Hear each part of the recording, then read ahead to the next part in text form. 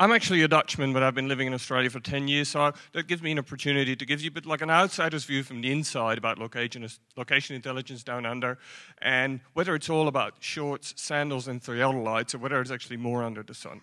Let's look at some common myths uh, that we should debunk about Australia.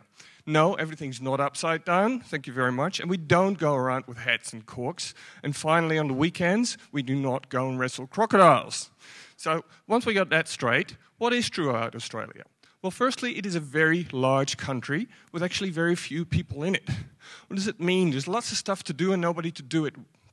So, what we need is technology and we need innovation to be able to just get along and get get our act together. And of course, we have Bondi Beach, which gives us a great opportunity to have a surf before we go to work or just hang out on the weekend, admire the view.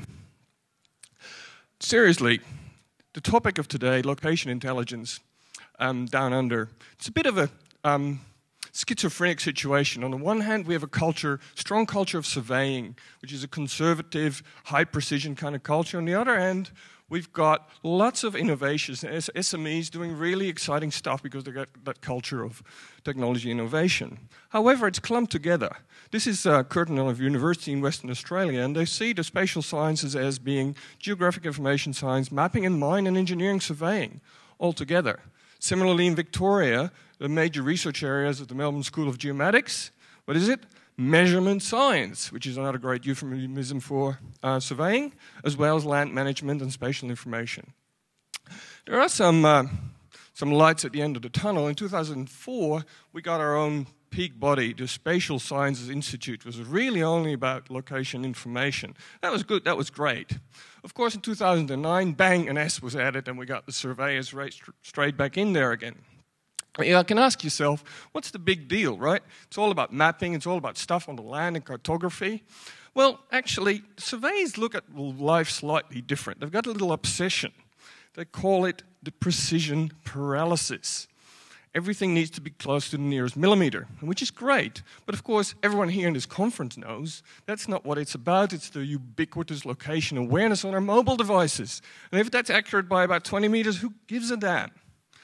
Um, so does it mean we just throw up our hands in the air and give up? It's all doom and gloom? No, of course not. There's some great examples, as it said, about exciting innovation.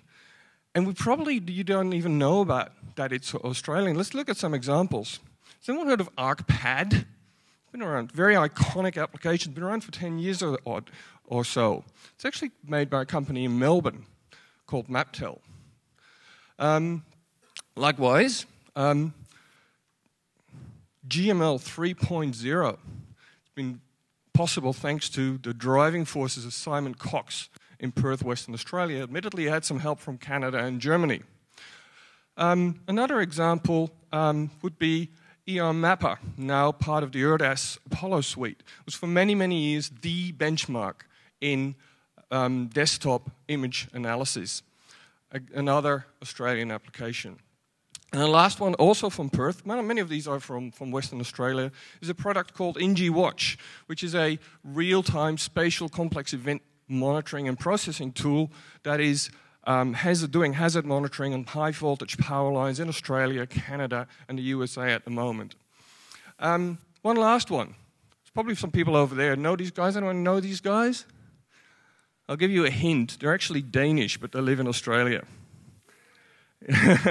Better still, yes, they're Jens and Lars Rasmussen, and they're responsible for this. And yes, that also comes out of Australia. So, summing all that up, we can say it's actually not so bad.